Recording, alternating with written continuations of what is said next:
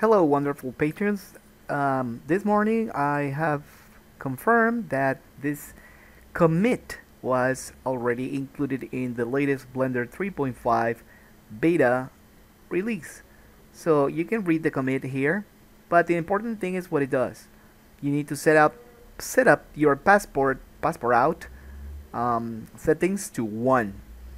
When you do that, you get all of this area in black. Then you like staple your overlaying texture on top of your composition and that is very good because now you can go rolling in with your mouse rolling out zoom in zoom out with your mouse and then you will see exact the same exact texture. Okay so let me show you the difference.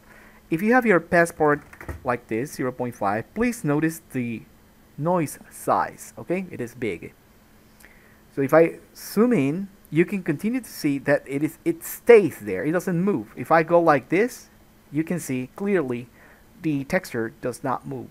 So that's wrong okay? So what do we want? So then you can set up your scene.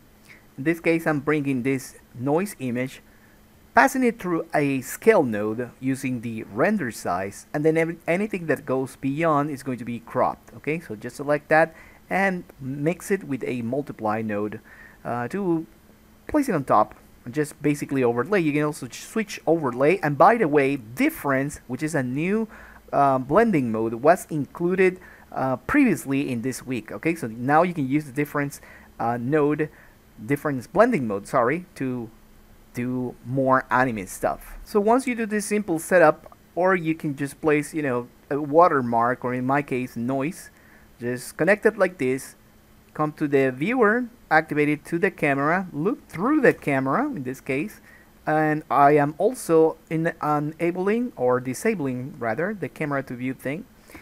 And from there you can just use the passport out all the way to 1 and now if you zoom in and zoom out with your mouse wheel you will see that the texture is going to remain at a certain level um, stuck to the proportion of the image so right now if I zoom out or, or zoom in, you'll see that it stays. Although past this point, of course, it's going to stop because there is no reason why to go beyond that if you're not going to be using it.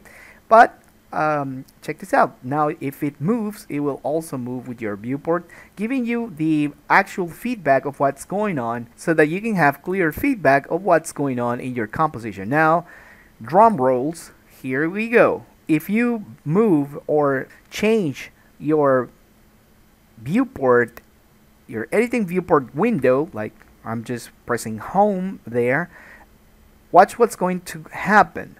Since we already activated the pass passport, out, sorry, pass part out uh, um, setting, now if you resize the viewport, it will also resize your texture. And this is the only thing that I was expecting and I'm waiting for uh, since the JOR file creation back in December. So now that it's been implemented, I can release the file and you can also start playing with settings and everything is going to show just fine. Thank you so much for your support. Now, why is that important? Oh boy, it is important. Check this out.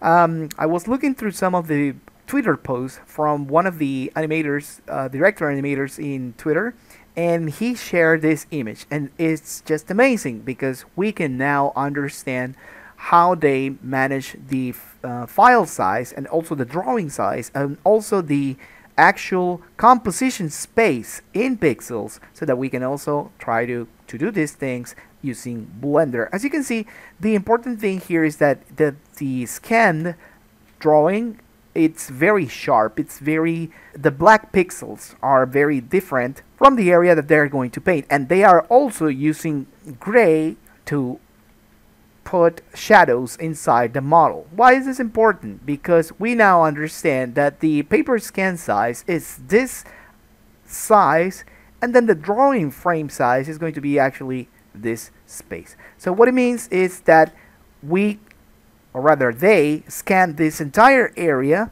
but the air area that they're going to be compositing and moving and you know manipulating is going to be inside here so basically it's uh, 1650 by 928 So that's just amazing. You can, if you're uh, from Japan, you can read the notes there. But if you're American, then you can see what I have um, translated, roughly translated there, so that you can understand what's going on here. But this is amazing news because now we can configure our Grease Pencil workspace into this uh, drawing frame size, 1650 by 928. And from there on, there are going to be a lot of things that we're going to implement in real-time compositing. Okay, this is this is huge because if you mix this plus what we have just seen, then you're going to understand how much better your anime compositions are going to be from here on. So thank you so much for your support. I am eager to show you a lot of new things.